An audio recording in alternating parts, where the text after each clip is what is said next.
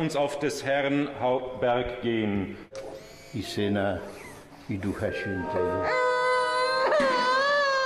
Bóg, który Cię stworzył, niech Cię na rękach swoich piastuje. Jezus Chrystus, który Cię zbawił, niech Ci wierny pasterzy będzie. Duch Święty, który Cię powołał,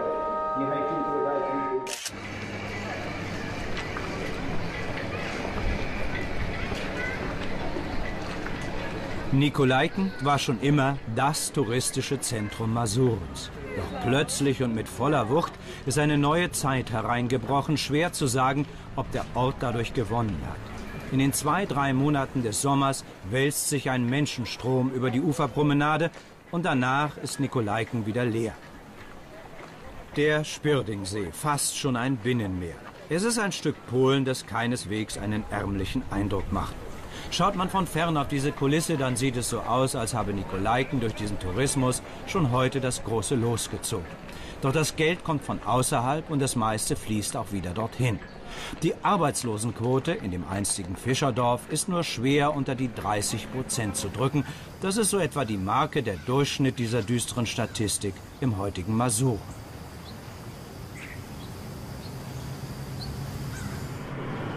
Hoch über dem See eine Schule, die den Namen einer Deutschen trägt. Die Journalistin Marion Gräfin Dönhoff entstammte einer der großen ostpreußischen Dynastien. Das Abitur auf der Dönhoff-Schule wird in Polnisch abgelegt, doch man verlässt sie zugleich mit soliden Kenntnissen in Deutsch. Als wir da waren in den großen Ferien, tagte der Schulvorstand, um über das neueste Projekt zu beraten, ein Internat für Schüler aus Deutschland, die in Masuren ein deutsches Abitur ablegen können. Mit am Tisch Piotr Jakubowski, der Bürgermeister, und Frank Dombrowski, den die Gräfin einst mit ihrer Vision betraute. Was verspricht man sich vom neuen Projekt? Zdaję sobie sprawę jako burmistrz miasta Mikołajek, że Als Bürgermeister der Stadt Nikolaiken ist mir bewusst, dass die Zeit der Nostalgiebesuche allmählich zu Ende geht. Also der Besuche von Deutschen, die hierher kommen, um zu sehen, ob die von ihnen verlassenen Häuser noch stehen und wie es heute in den Dörfern aussieht.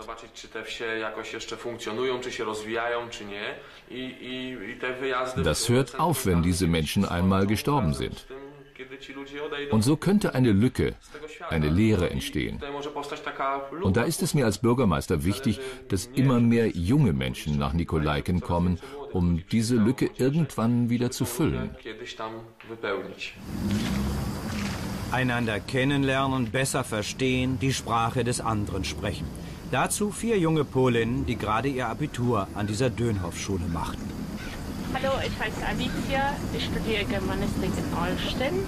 Alstein? Allenstein hieß das damals. Und ja, ich möchte gerne eine Reiseleiterin werden. Aha.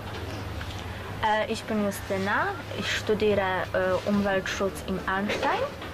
Äh, ich äh, habe im Lyzeum Marion Dönhoff gelernt. Ähm, Und werde was? und werde äh, Biotechnologie. Äh, dann in Polen, in Paris, London, wo wollen Sie hin? Äh, in Polen. Ja? Hallo, ich heiße Monika, ich bin 19 Jahre alt und äh, von Oktober möchte ich äh, Marketing studieren in Lück. In Lück. Und Sie? Hallo, ich heiße Ivona. Äh, ich habe auch äh, Marienhochschule besucht und jetzt äh, werde ich Germanistik studieren in Allenstein oder in Heidelberg, aber das weiß ich nicht. Ja. Und was, ja, ich meine, was versprechen Sie sich so generell davon, zu sagen, okay, Deutsch gar nicht schlecht, später oder so, man weiß es ja nicht. Also andere sagen, nee, außer Englisch wird später nie wieder eine andere Sprache gesprochen. Also es kommen viele deutsche Touristen hier und wir hoffen, dass sie immer wieder und öfters mal hierher kommen werden.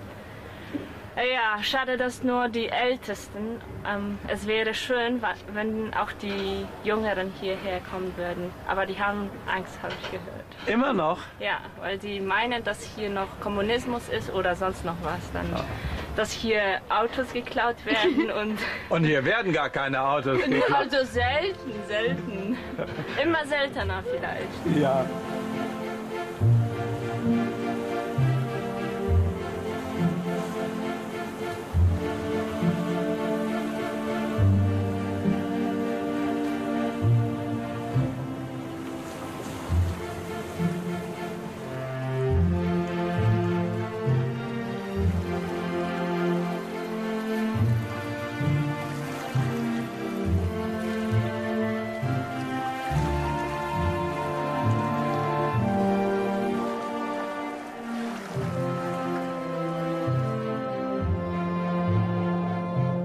Kein Zug und auch kein Flugzeug nimmt einen direkten Kurs auf diese Einsamkeit. Dem Zwei-Stunden-Flug nach Mallorca oder auf eine andere südliche Insel stehen 20 oft quälende Stunden der Bus- oder Autofahrt nach Masuren gegenüber. Das ist eine Hürde, aber das ist auch ein Schutz der Abgelegenheit und der Stille.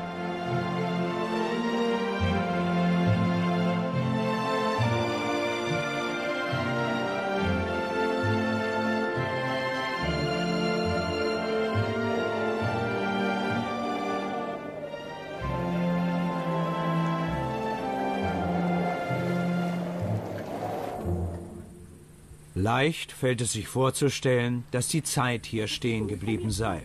Unberührte Natur, einfaches Leben, ein Gestern, das sich länger gehalten hat. Ein Hauch von Wehmut, eine Landschaft so schön wie vor hundert oder tausend Jahren. Die Innenstädte sind meist unaufregend. Ein letztes sozialistisches Grau neben greller westlicher Reklame in Lötzen, Gzitsko, die alte Drehbrücke am Schloss. Die Segelboote klappen die Masten ein auf der Passage vom Dargeinen in den Löwentinsee. Für den Autoverkehr ist diese Brücke nur gelegentlich geöffnet. Die Vorfahrt hat hier der Wassersport.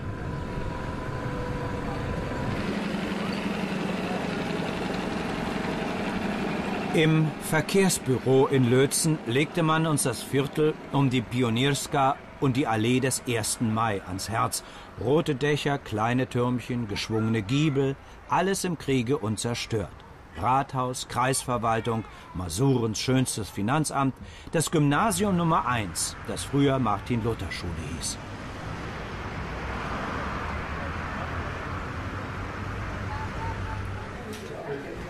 So, liebe Gäste, jetzt bin ich bei euch hier. Ach so, ja. Ja, und werde euch ein bisschen erzählen. Und bei der Familie Dicti zwischen Sensburg und Rhein, da dürfe man nicht vorbeifahren, wurde uns gesagt. An einigen Tagen machen dort acht Busse Halt zu Kaffee und Kuchen und Königsberger Klops. Wenn der Pole Malisch und Sven Hannawald Skispringen, dann gehört das Herz der Dictis Hannawald. Der Star ist sie, der Höhepunkt sind ihre Witze. Nicht alle sind sie stubenrein, aber die ostpreußische Mundart gibt allem einen zärtlichen Klang. Die Pointe ist nicht zu entscheiden. Es ist die Sprache. Aus meiner Kindheit habe ich sie noch im Ohr.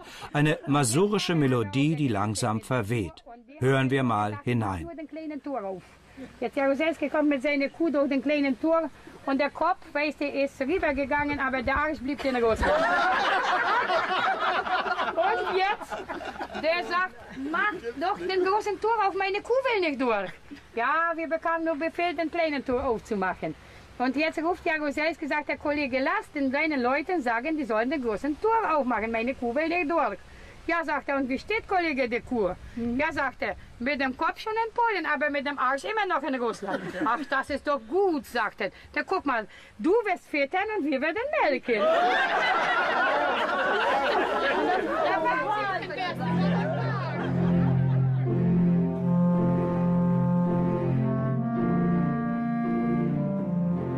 Die Chausseebäume überall in Masuren, sie werden wohl den Richtlinien der EU zum Opfer fallen.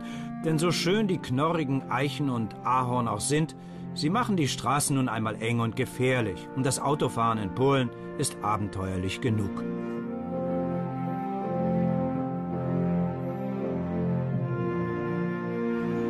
Also, das müsste heißen, Jesaja wir wollen euch lieben in der nicht verhaltenen und da irgendwo ist Schluss. Der Rest ist ausgekratzt. Es gibt bedeutendere Bauwerke in Masuren, aber irgendwie ist uns dieses Kirchlein aufgefallen. Wir machten Halt, schwer zu sagen, warum. Die Kirche eigentlich noch prima in Schuss. Gräber gerade zwei. Dies hier ganz offensichtlich das Neuere gab. Friedrich äh, Schwabe, 1902 geboren, 1975 gestorben.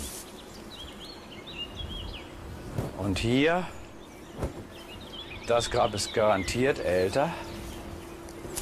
Das ist garantiert älter und da kann ich draus lesen. Emma ist der zweite Name und der erste ist Lark, sowas ähnliches. Wenn ich dies hier richtig lese, 1899 geboren. Ja, und wann gestorben? Steht hier nicht. Ein Friedhof, nur zwei einsame Gräber, das letzte 1975 ausgehoben, noch frische Blumen für Friedrich Schwabe. Wer mag er wohl gewesen sein? Das nächste Dorf heißt Stachowisna. Das größte Haus hat schon mal bessere Tage gesehen. Es wird ein Landgut gewesen sein. Acht Familien wohnen heute hier.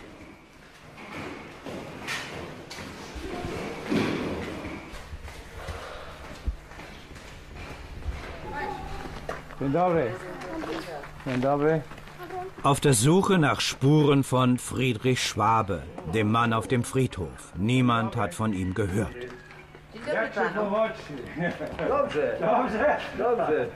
Im holprigen Polnisch Guten Tag, ZDF Deutsches Fernsehen, unser Anliegen zugegeben, ist etwas ausgefallen. Von den Jüngeren ist wohl keine Auskunft zu erwarten. Und plötzlich kratzt sich einer am Kopf. W czasie wojny to ja to znałem. Ten, co tam na cmentarzu, Szwabę nazwisko. On tu był Klar, Schwabe. Während des Krieges hat er hier auf dem Gut gelebt. Da gab es eine Besitzerin, ihr Mann war Offizier, er war im Krieg, und da war Schwabe der Verwalter. Später ist er hier einfacher Arbeiter gewesen, genau wie ich.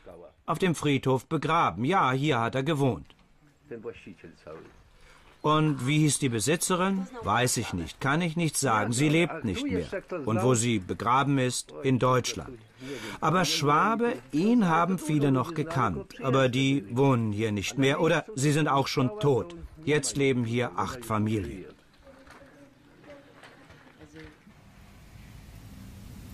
Gleich nebenan zwei riesige Hallen. Schläuche und Kabel liegen herum und die Glassplitter von Melkmaschinen. Denn nach 1945 ist dieses Stachowisna ein Staatsgut gewesen. Anfang der 90er Jahre wurde es in eine Aktiengesellschaft umgewandelt. Vor sechs Jahren ging der Betrieb dann pleite. Auch die Menschen wurden nicht mehr gebraucht. Ein klassisches Schicksal der polnischen Landwirtschaft.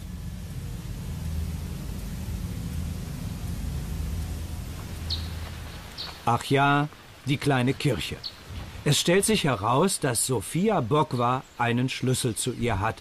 Nach Johannes dem Täufer ist sie benannt, war früher evangelisch, nun ist sie katholisch.